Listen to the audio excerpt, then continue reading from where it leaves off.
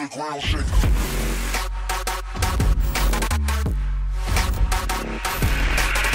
Tervehdys YouTube.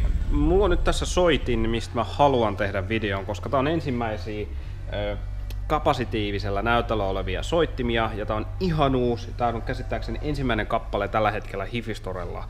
Mä en tiedä, onko tää koko Suomessakin ensimmäinen kappale. Mun on pakko tehdä tästä video. Se ei ole Alpine IV 560, vaan ZN326 Zenekilta. Mitä se pitää sisällään? Siis se on kapasitiivisella näytöllä. Eli käytännössä sama kuin kännykössä on tämä näyttö.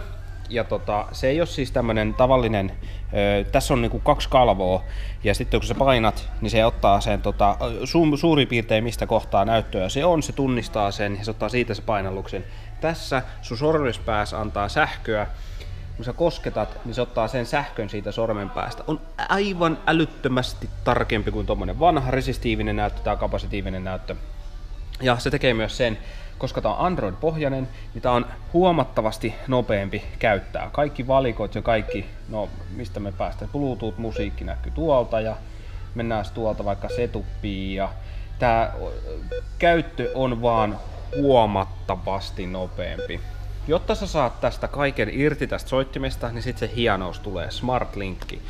Täällä on USB, se toimii myös Ilurien kanssa niin tota, Wifin kautta, mutta uspi kiinni kännykkään. Noin, siellä on uspi kiinni, totta kai se rupeaa lataamaan. Sitten sulla täytyy kännykästä olla päällä toi USB debugging, ja täältä laitetaan tiedostojen siirtäminen käyntiin. Noin. Ja sitten se onkin se on siinä, muistaakseni ton käyttö mennään Smart Linkkiin, ja täältä painetaan Android USB. Se yhdistää sen tuohon kännykkään, ja tota, jotta sä saat sen käyntiin sen USB-debuggingin, niin sun täytyy yleensä mennä asetuksiin. Ja OnePlus 3T sun täytyy mennä asetuksiin ja sieltä järjestelmätiedot ja sieltä klikata seitsemän kertaa, että sä saat lisävalikon auki. Se on jokaisella kännykällä vähän erilainen, joten kannattaa tsekata se erikseen vaikka netistä, Googlesta kysymällä ja YouTubesta löytyy video, millä saa se USB debuggingin päällä. Tässä on hyvät informatiiviset ohjeet myös tässä ruudulla, miten sen saa toimimaan, mutta Tableteissa se oli, että käytäs eh, ulkoista CD-asemaa ja sitten tässä se oli, että käytetään tota tiedon siirtoa varten. Sitten kun se USB debuggi on päällä, niin se asentaa tuolta USPin kautta tähän sovellukseen tähän kännykkään. Sen jälkeen täältä mennään täältä soittimen menusta. Ähm, missä se nyt oli? Bluetooth. Täältä erikseen asennetaan tämä soittimen kautta se Bluetooth tuohon kännykkään kiinni. Jonka jälkeen tämä kaikki hienous paljastuu täältä, eli SmartLink. Siinä on mun näyttö tuolla, toi, mikä tuolla alla. Täällä on erikseen tämmönen lisävalikko tulee. Siinä on tommonen nappula, niin kuin näkyy. Että tota, mulla on kännykässä päällä, siis kuva päällä. Mä pystyn täältä erikseen sammuttamaan kännykän, niin silloin se kännykkä vaan latautuu siellä niin kuin sivussa. Se on ainoastaan kännykällä kiinni, se, tie, se data tuosta kosketuksesta liikkuu tätä kaapelia pitkin, eikä Bluetoothia pitkin. Silloin siinä ei ole mitään viivettä.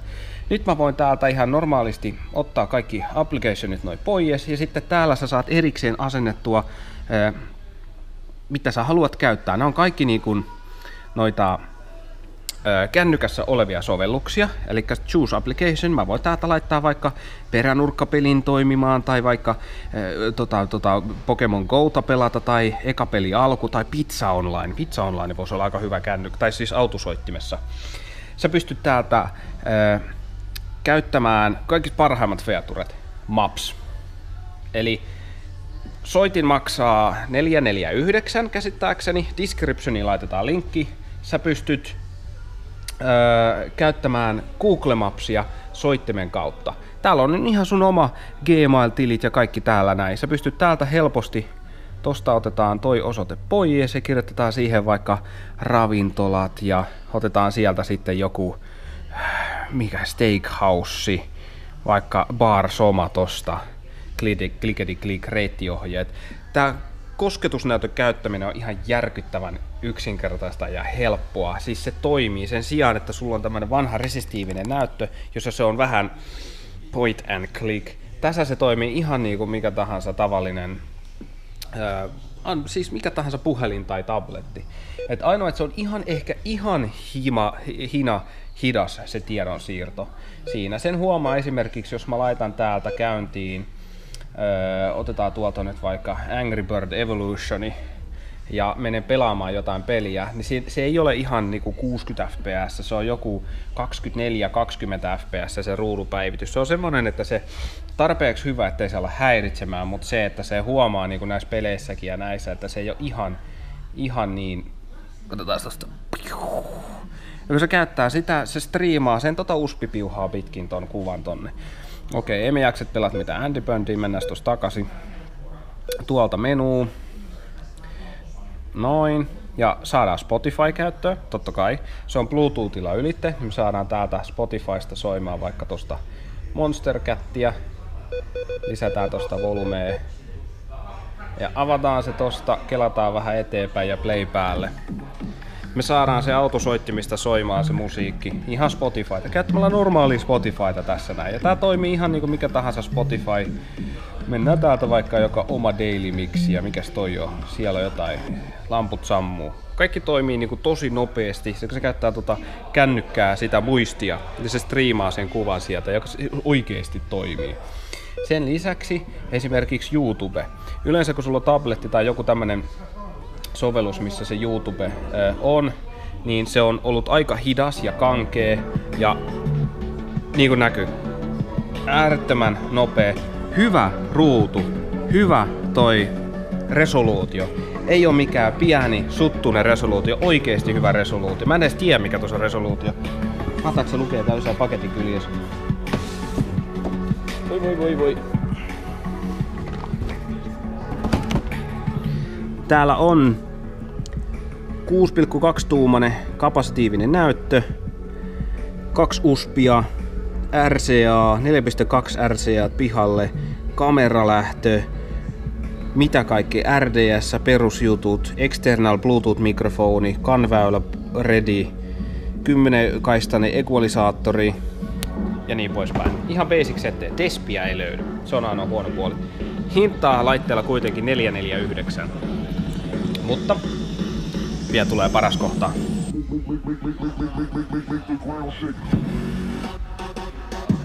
Okei, okay. mennään backiin, katsotaan mitä muuta sieltä löytyy. Peruspuhelusysteemit toimii, sä saat niinku kännykästä Android-sovelluksen speedometerin tuohon toimimaan. Totta kai täytyy liikkua, että se toimii. Lisäksi kaikki muutkin säät, gmailit, web-selaimit, kaikki, nopi, kaikki toimii tosi nätisti tuolta. Vaikka, vaikka, vaikka menisi esimerkiksi Instagramiin, Instagrami nyt ei toimi vaakatasossa, eli se skaalaa sen aina pystyy, niin silloin se on vähän vaikeampi käyttää, mutta tämä on, niin on tarpeeksi tarkka tämä näyttö, että sä pystyt niin kuin, helposti käyttämään tätä. Sellainen on Senekki ZN326 mä pikkasen päässyt tätä tässä tökkimään, niin mä oon niinku todella hyvä. Yksi esimerkiksi, yksi hyvä. Jos sulla on Androidi, tota, vaikka vahvistin, Blammilla on Androidin kautta Despi, jota sä pystyt säätämään, niin sä pystyt tästä appin kautta tai Android Playn kautta hakemaan sen. Mulla pitäisi olla täällä jossain. Katsotaas, katsotaas. Max Boomi laskuri löytyi, Viaplay. Viaplayssa oli joku juttu, että se ei sitä striimannut tuohon Netflixiä, mulla ei ole kännykässä, niin sitä mä en saa mulle tunnuksia siihen. Pokemon Go toimi hienosti. Flex Fueli, missä se nyt on? Tossa, Blam RA704.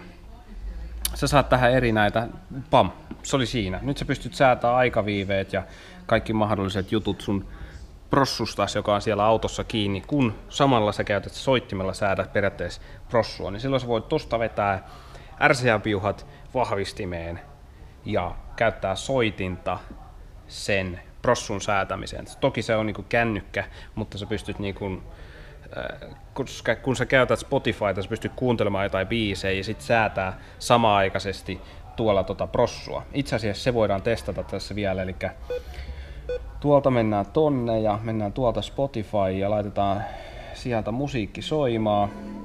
Ja sitten mennään erikseen tonne ja avataan uudestaan se Plammi-sovellus sieltä, niin me voidaan säätää täällä aikaviiveitä samalla kun me kuunnellaan musiikkia.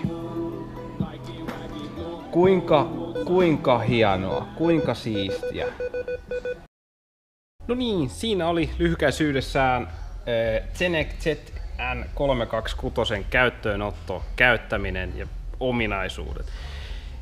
Ihan nyt se niin asettaa uudet standardit soittimille mun mielestä.